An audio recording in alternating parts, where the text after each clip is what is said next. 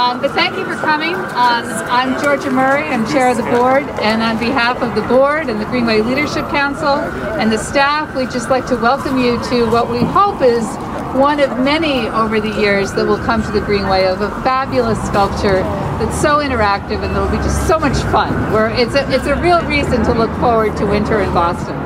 Um, so I'd like to thank a few people. I'd like to thank all our supporters, um, the people who help us with money, who help us with coming to the Greenway, who help us with all their volunteering. Um, we really couldn't do without you, and we really thank you so much. Um, tonight, I'd also like to do a particular thanks to Moskow Linn, the architects, um, who created this wonderful time. Payne Bouchier, the master builders, fine builders, um, who have just done this incredible work. And to Siegel Associates, our structural engineers. Um, it really did take a team, and what a team we had. So thank you, thank you very much. I'd now like to introduce Keith Moskow and Robert Linn, who can tell you a little bit more about what we've all been doing. Hi, I'm Keith Moskow, Robert Linn. Um, we have a very small office now, uh, so uh, we need to mention Sarah West as well, and Jen. Is Jen here? She might not be here. Jen Wu. Okay, never mind.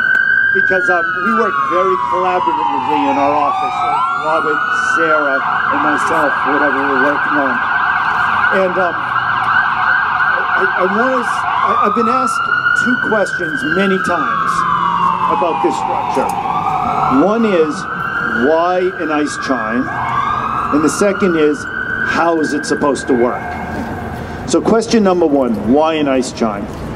Two summers ago, I was walking across the Greenway and I saw Kate Miller Gilbert, if she's here, she might not be here, and she goes, Keith, come um, have you seen the, the big hammock? Do you guys, anybody remember the big hammock? Sure. Yes. And I go, what is that? And she goes, oh, come on, come see it. So we walked down and saw the hammock. I go, this is so great. She said, well, Keith, we're looking for ideas for something to enliven the Greenway during the winter when things, normal things can't grow. And we said, well, we're the guys. We often think outside the box as an office and seem like the appropriate thing for us to work on and fun to work on. So we invited Kate into the office and collectively we brainstormed about ideas. And we thought, what could really grow on the Greenway in the winter? And we thought, ice. Usually it's a liability, but here we're going to sort of raise it to another level. So we design the structure that's behind us. Now, second question, how does it work? Number one, we need cold weather. Um, so Mother Nature's helping us a little bit tonight, but we've got to get colder. Number two, we need moisture. Snow, freezing rain. The rain or, or snow, preferably snow, will collect on the roof, 16 by 16 feet. On top there are heating coils that will um, melt the snow. It will drain down through the holes onto the steel chimes. It will, it will convert to ice as it drains down, and then it will hang there until the wind blows or until they get heavy, until they clink together and they come crashing down into the sound attenuating bucket below. and we, we, we, when we, when we conceptualized this piece, we thought, oh, great idea. And then we talked to our engineer, Steve Siegel, who's, who's not here, unfortunately, but um, he started reciting the poem Birches by Robert Frost. And we go, why didn't we think about that?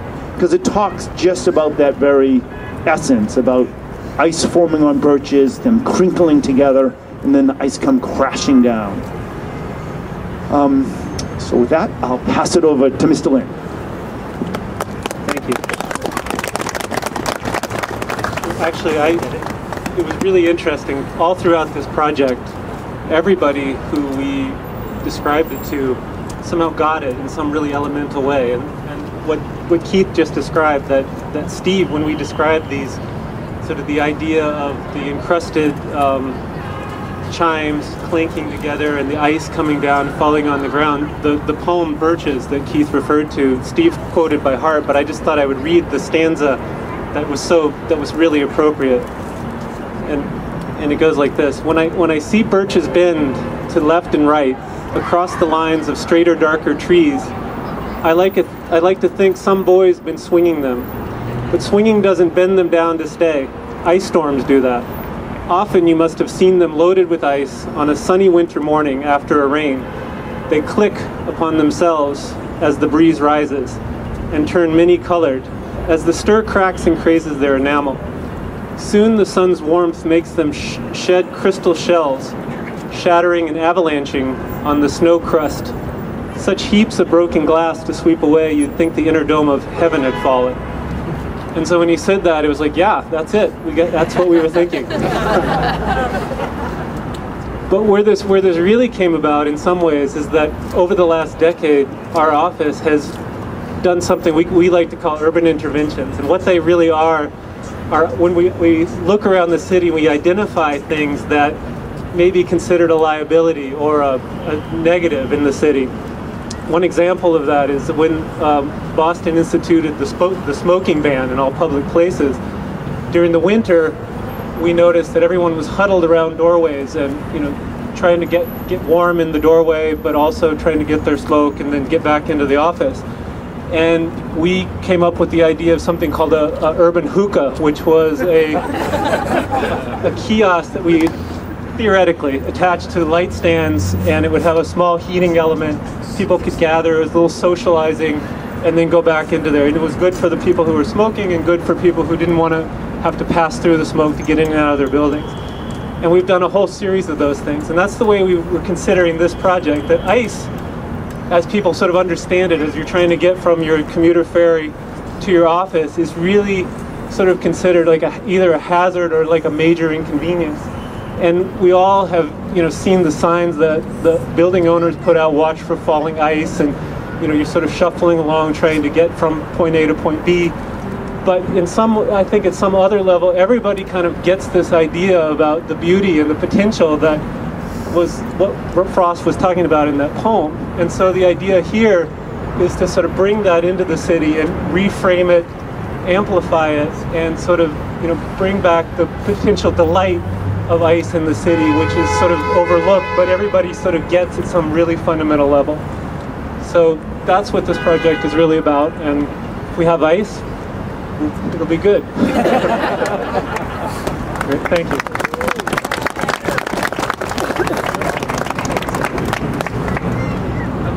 Hello, hello. Well, hello, it's Oliver Bouchier. I bring good news. Our daughter, Alicia, tells me it's snowing in Northampton. Soon this will be a work of art in action. We as builders, of course, want to thank the Big Dig who made this possible. and Greenway, uh, the Conservancy who dreamt it up, or whosoever at the Conservancy dreamt this up, and everybody who made it possible for, for the actual construction to be, to be here, to be flesh if not blood. It's a beautiful thing, and we're very proud to have been part of it, and very, very glad. If I wanted to say anything at all, I said a little earlier, the creative process that went into this is, is not only the architects, but everybody who, who is part of it. And it's been a real pleasure from, from my managerial position to be part of it, and for everyone here who's added their piece to to make it possible, from the structural engineers to the to the people who actually thought about how it would stand up. It's a miracle. Um, and I hope it will. So that's all. I think. Thank you very much for coming. They uh, have the great pleasure, particularly tonight, to be the director of the Greenway Conservancy. I'm just up here to ask you, please don't leave we have a wonderful musical performance that's going to take place momentarily. But also, I want to remind you that our friends and partners, Silk Road Barbecue, are here to offer you some of the very best food in the city. And please partake and then come back and listen to this wonderful musical performance.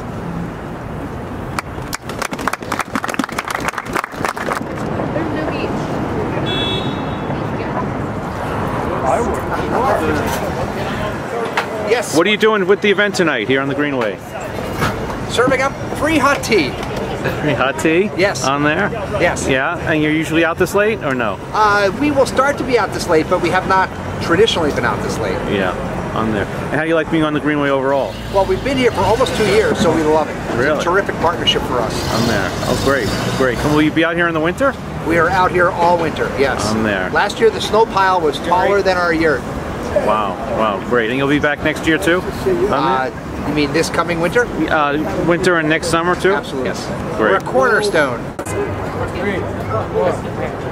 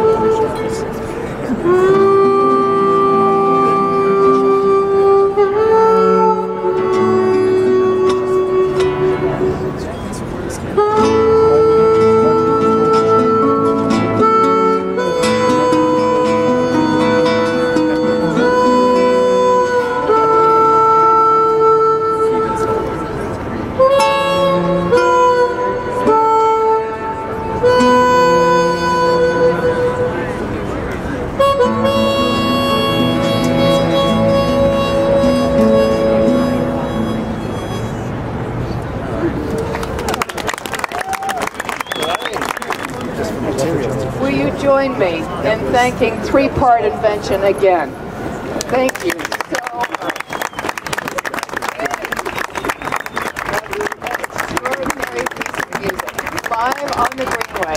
It's international premiere. oh, goodness. The Greenway Conservancy likes to talk to the public about the Greenway as a ribbon of parks that is all about bringing beauty and connection and innovation to the public. And tonight it's like right here, all right now. The board is here, the members of the Greenway Leadership Council are here. Would you mind raising your hand? Up, up, board and Greenway Conservancy and Leadership Council.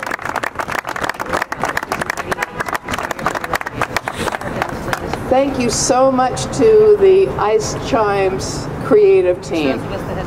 What they have done is remind us that right here in the center of downtown Boston, nature, technology, the creative process, connection, community, birches, the dome of heaven. It's all right here. And it takes all of us working together uh, to create evenings like tonight. But they are also, at least from my point of view, just, they come together with generosity that just moves me so much. It is the spirit of generosity that we think of in this season, but it's really in our hearts always. And I hope that we can make this pledge to you to bring it to you always. There are some uh, very special people who should be up here rather than I. And they begin with Kate Gilbert, whose inspiration this was. She is here in the back of the crowd.